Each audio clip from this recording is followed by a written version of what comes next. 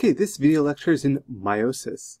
I suggest you watch the other one that I have on mitosis first because a lot of these same steps repeat and use the same terms.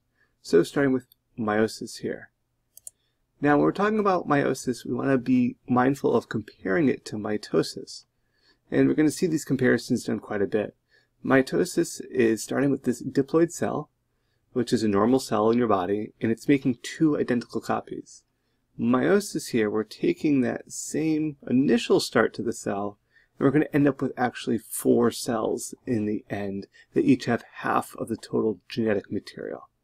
Do another comparison here, where we see our parent cell, we have this replication phase, and from that replication phase we can go to mitosis, which you can see here is forming two identical copies of the parent cell, or meiosis here, we're forming four total cells, each with half of the total genetic material. So, uh, some of the terms. Sister chromatids is one. This refers to, e to either of the two identical copies, chromatids, formed by replication from a single chromosome, with both copies joined together with its centromere. So here's our chromosome here. Here's our centromeres at center location, also represented here. Our sister chromatids are those two things, two, chro two chromosomes joined together here in that um, centromere. Together these make the sister chromatid. Now there's also something called daughter chromosomes. Now these are paired chromatids or sister chromatids eventually separate, keyword here separate, and become daughter chromosomes.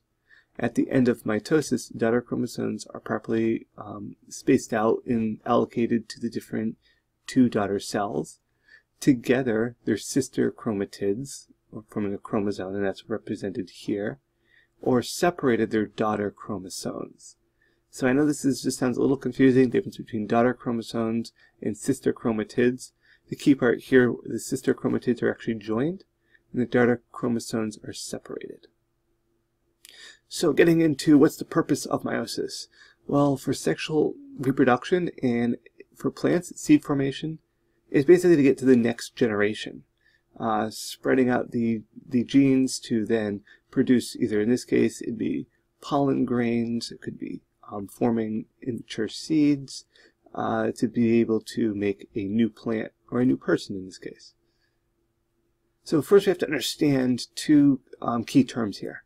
First one is somatic cells. These are any cell in a living organism that is not a reproductive cell. Here we have um, an endoderm line, a mesoderm line, an ectoderm line, all the somatic cells.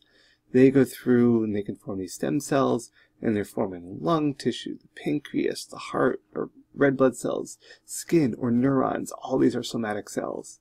They are also diploid, meaning they contain two sets of chromosomes, one from each parent. So one from mom, one from dad. If these were plant cells, it could be leaves and roots and shoots and stems, and they would also have one chromosome from the male plant and one chromosome from the female plant. We talk about gametes. This is, these are single cells produced by adult organisms that are specialized for mating and only have half the number of chromosomes, and thus we call them haploids. They have a single set of unpaired chromosomes. So to form a zygote, we need a sperm cell and an egg cell to come together, and this is the first cell of a new individual, this zygote here. Here we see the ovules in a plant, here we see pollen grains. If these two come together, that's forming the fruit here. These are, an example would be tomatoes. Looking a little bit closer at comparing the two, haploid is usually represented with just the letter N, and diploid is 2N. Hap haploid uh, sperm fertilizes a haploid egg. The resulting diploid zygote, myself up here, diploid zygote receives one copy of each gene from mother and one from father.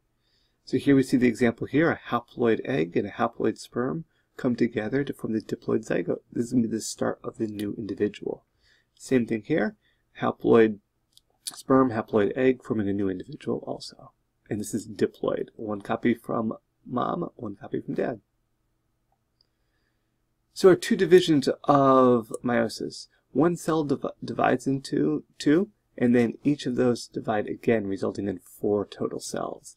So unlike mitosis, where we were forming two identical copies, here we're forming four unique cells. through very similar phases, prophase, metaphase, anaphase, uh, and telophase 1, and then the same thing repeats.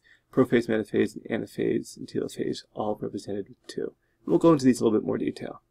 Starting with prophase 1, chromosomes coil become shorter and thicker, nuclear envelope and nucleolus dissociate, break apart, chromatids can be seen, centromeres form and have microtubules attached. Kind of similar to prophase um, in mitosis. Seeing that condensing here of the chromosomes, we could see our centrioles developing, the chromosomes are condensing, the envelope is breaking down, and this term crossing over is important. During prophase 1, crossing over can occur. And this is a very important thing that happens in prophase 1. It's a process where homologous chromosomes pair up with each other and exchange different segments of their genetic material to form recombinant chromosomes. What does this mean? Well, we have homologous chromosomes, and these are just could be the same chromosome, 1 for example, and they line up next to one another. Well, what's crossing over is because these are homologous, meaning they essentially encode for the same thing, one could be from mom, one could be from dad, crossing over meaning a section could break off this chromosome and rejoin here, and this is what's causing, or what we call crossing over, because a piece is crossing over. Here we have a um, white and a black um, chromosome. Here we get crossing over, and we see we get a kind of a striped appearance. We get a white and a black, and a white, and a black, and a white, and a black. This is crossing over. I mean, these were unique genetics separated out. Now they're kind of joined together. So this is important because it happens on metaphase. The chromosomes align at the equator and spindle fibers become apparent. Metaphase, remember they're lining up that metaphase plate, that equator of the cell here is lining up. Remember, this is metaphase 1. So what it looks like on a real world image here, you can see everything lined up distinctly through the dye. Anaphase 1 is chromosomes migrate to the poles. Again, we're getting the pulling apart of our chromosomes. Now, the centromeres are not broken here. That's an important aspect to keep in mind. They are still attached. The centromeres are still attached. But now, if we got this one from mom and this one from dad, these get pulled apart. Here, we notice a little crossing over did occur. So anaphase looks like that pulling apart of those chromosomes. Telophase 1 in cytokinesis, this is a weak formation of the nucleus because remember they're going to divide again. You see initially we're starting to have a nucleus starting to form, but that's going to slowly divide and break apart more here. So division 2, similar but not the exact same process repeats, so be careful and mindful of what's different. See here in prophase 2, chromosomes become shorter, they never really completely dissociated, but they become shorter, more condensed. Spindle fibers are forming. Here in metaphase 2, they're lining up again. And an important part here, between metaphase 1 and metaphase 2, if you look at these images, there's three here. This one and this one look very similar. This one looks distinctly different. We notice here we're going to get separation at the centromere. Here we're just going to migrate the chromosomes. If we notice, this is evident in metaphase 2, same with this one. This is metaphase 1. The centromeres will not be broken in metaphase 1. Again, metaphase 2, here, a little bit harder to see on some of these stained images, but we get the sense for what that looks like. Everything kind of lined up on the um, equator region. Anaphase 2, same thing happens. Our chromatids separate, allowing chromosomes to migrate to the poles. Important for anaphase 2, we're actually breaking those centromeres and those are actually migrating to the poles here.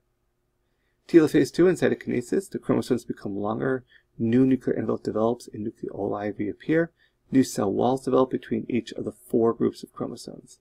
The Nuclear envelope forms around each set of chromosomes and the cytoplasm divides. You can see we're getting distinct, four distinct cells that are forming.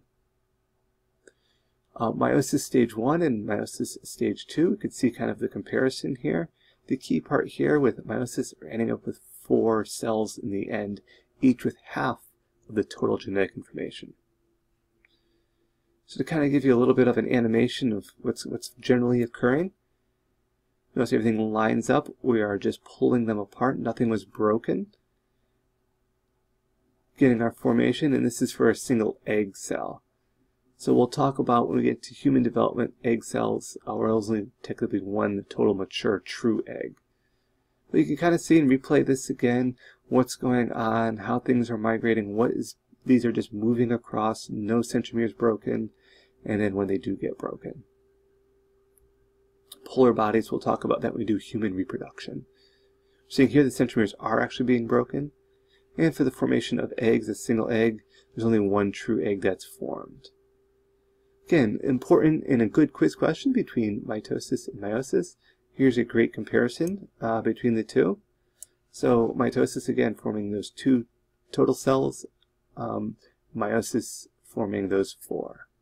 Again, being able to compare and contrast these two is important aspects to show understanding.